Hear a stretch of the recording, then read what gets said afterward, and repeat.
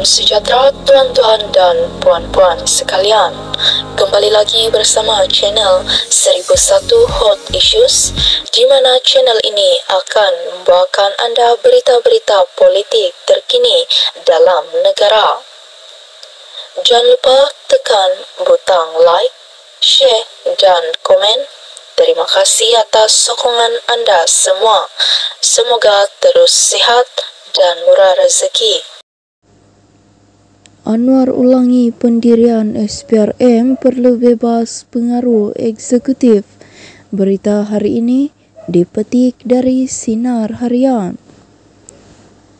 Perdana Menteri Datuk Seri Anwar Ibrahim kekal dengan pendirian SPRM perlu bebas daripada sebarang pengaruh eksekutif.